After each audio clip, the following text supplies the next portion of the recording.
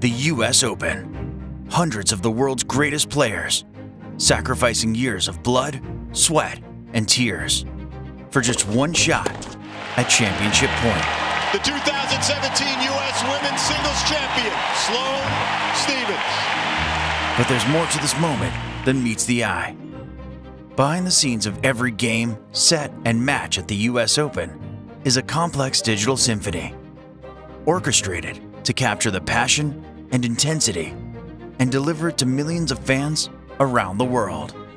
To do this, we've been on a journey of digital reinvention with our technology partner, IBM. It starts right here with match data, the raw material of the US Open digital experience, the scores and stats, the roar of the crowd, even the emotion on the players' faces. IBM captures information from across the US Open and transforms it into unforgettable fan experiences on the IBM cloud.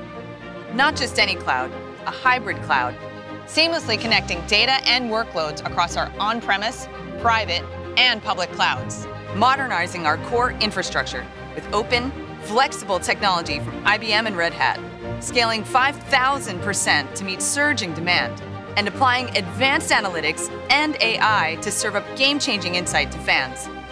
IBM Watson is the AI engine of the US Open. It helps our guests navigate the tournament and the venue. It sees the action on the court and knows what makes a great tennis highlight. And it helps coaches and players analyze matches quickly to improve their game. From match points to manufacturing, from tiebreakers to telecommunications, from open tennis to open source. IBM is changing the game and changing the world. Let's put smart to work.